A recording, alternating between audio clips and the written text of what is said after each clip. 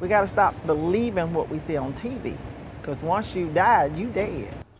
People who live in the Tuscaloosa community are still healing after a shooting early Sunday morning left a 23-year-old mother dead. Two people now face capital murder charges. One of those, Darius Miles, a former Crimson Tide basketball player. Both suspects are awaiting their day in court, but now safety is a major concern for those who live in the city. ABC 3340's Kyra Purvis spoke with the Tuscaloosa community today and shares their thoughts on safety in the community. Do you have any concerns for your safety when you go out? I do. I, you know, as much as possible, but I do not allow fear to stop me from doing what I need to get done. Goree has been a member of the Tuscaloosa community her whole life. When she heard about Sunday morning shooting, the news broke her heart. It's a sad situation simply because so many lives are being affected. 20 year old Michael Davis and 21 year old Darius Miles, both charged with capital murder, and 23 year old Jamea Jonae Harris, now dead.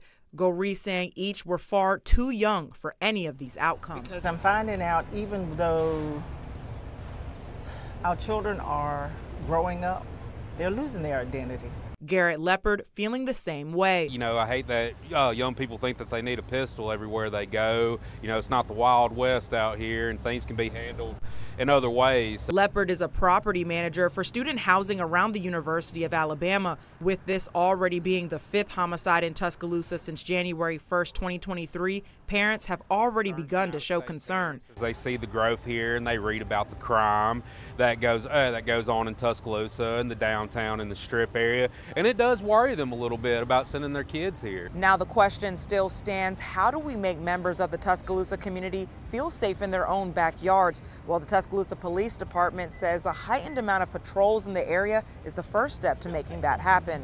In this statement, the department ensures extra staff has been allocated for downtown foot patrol, saying, We have assigned more officers than usual to work the weekend's details, and we will continue to do that for the next several weekends. District 1 Council member Matthew Wilson agreeing with the approach. It's imperative that we allow the experts to do what they need to do.